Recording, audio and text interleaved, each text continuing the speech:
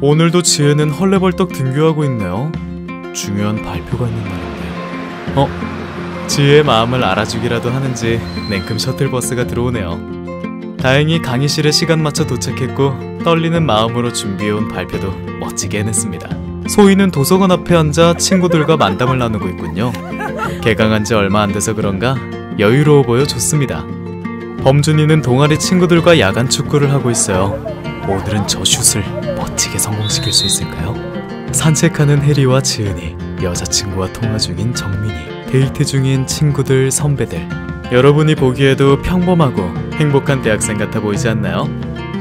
지혜가 늦지 않고 강의실에 갈 수 있었고, 친구들 앞에서 열정을 다해 준비한 발표 자료를 손쉽게 보여줄 수 있었고, 소희가 친구들과 만담을 나눌 편안한 공간이 있었고, 범준이가 야간에 동아리 친구들과 축구로 우정을 쌓을 수 있었던 이유는 우리의 삶을 뒷받침해주는 과학이 있기 때문에 가능했습니다. 과학은 더 나은 미래로 우리를 연결해왔고 덕분에 우리는 행복한 삶을 누리고 있습니다. 과학을 행복에 연결하다. We connect science LG화학